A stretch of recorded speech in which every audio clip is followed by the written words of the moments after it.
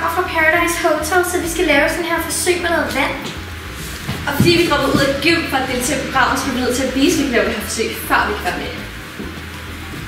Okay, og så skal vi måle det her vands vægt. Jeg tror også, det hedder masse. Ja, øhm, masse, det var det, jeg mente. Okay. Og så skal vi bruge sådan en her. En måler. Altså ikke nu. Øhm, Vi skal til Ja, så laver vi det først. Ja, okay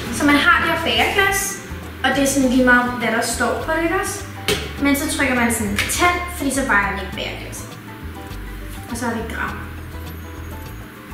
Ej, det var her langsomt. Sådan. Og så fylder man vand op.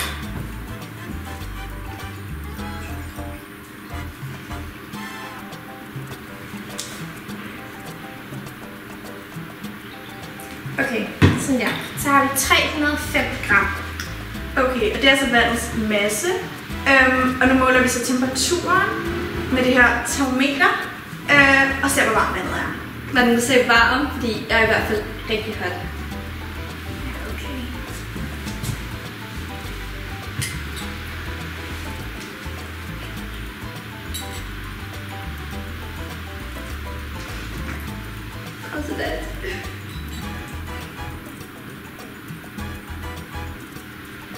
Okay, så øhm, vandets temperatur, det er øhm, 23,9 grader Celsius.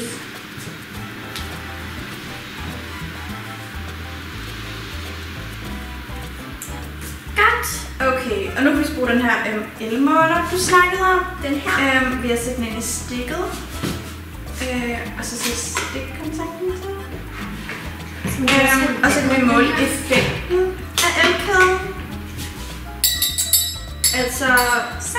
Jeg forstår ikke, hvorfor det hedder P. Altså, det står for Paradise eller noget. Øhm, altså, hvad snakker du om? Det gør det ligesom ikke. Altså, det står for sådan effekten.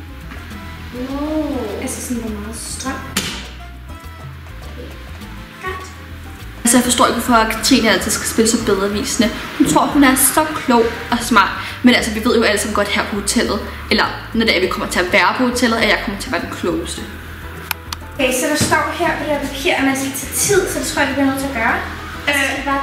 Ja, det lyder på det. Okay, skal vi så bare tænde for Ja, så vi tager tid, og så tænder vi kedlen, og så vender vi til temperaturen sidder 20 grader.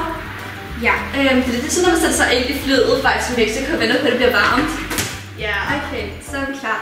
Og vi skal også huske, når vi tjekker, at både tjekke uret og elmåleren. Okay?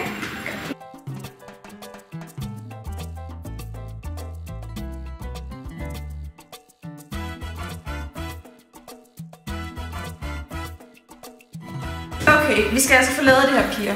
Øhm, så vi skal udfylde det her schema.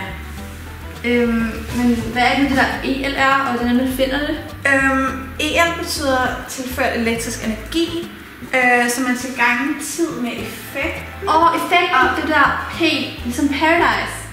Øh, ja, men det er lidt lige meget nu. Øh, man ganger det med hinanden, og så har man fundet E. Ej, hvor smart! Skal vi så gøre det? Okay, så hvis man siger 1780 gange 31, så giver det 55.180. Og så skal vi regne på næste.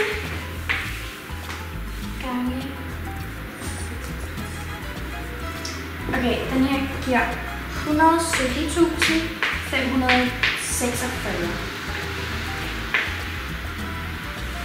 Og den næste giver 152.000 og 564. Øh, og den her giver... Jeg kan ikke læse det her tal. Nej, kom over det. 224.154.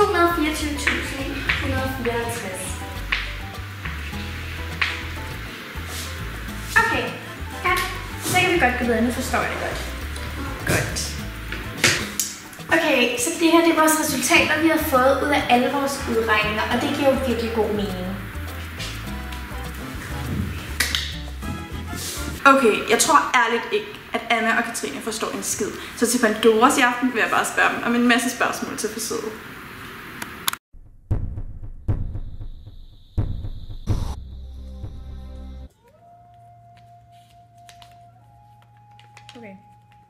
Anna, hvor meget elektrisk energi, EL, blev der i alt tilført for at varme vandet op til det kogte? Altså for at finde ud af, hvor meget der blev tilført, så bliver vi nødt til at kigge på vores tabel, og så kigge på vores tilført, EL, vores tilført el-energi. Og så lægger vi alle sammen det sammen, og i alt der giver det så 549.444 watt.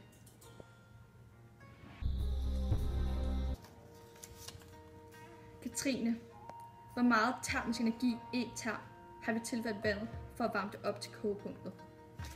Okay, så for ligesom at finde ud af, hvor meget E-term vi tilført, så bruger man en formel, hvor man siger MV gange CV gange delta T. Øhm, så vi tager vandets masse i kilo, som er 0,505 kilo, og så ganger vi det med 4,18, fordi det er vands varmefylde. Og så ganger vi det med vores delta T, som i vores forsøg er 76,1. Øhm, og så giver det 160, 160.639 øh, joule. Men fordi vi skal have det i kilojoule, så dividerer vi med 1000, så det giver 160,639 kilojoule. Og det er så så meget termisk energi, vi har tilført fra vandet nede i kogepunktet.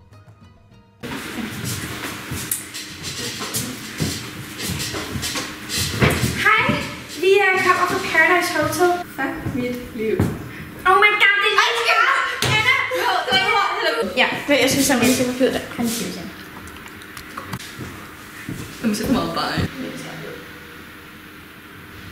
Vi klipper den her del ud, og så Yes. vi det. Okay. Godt, jeg regner lige. Hvad var det så, vi skulle regne ud? Øhm, Temperaturtillægs? Ja.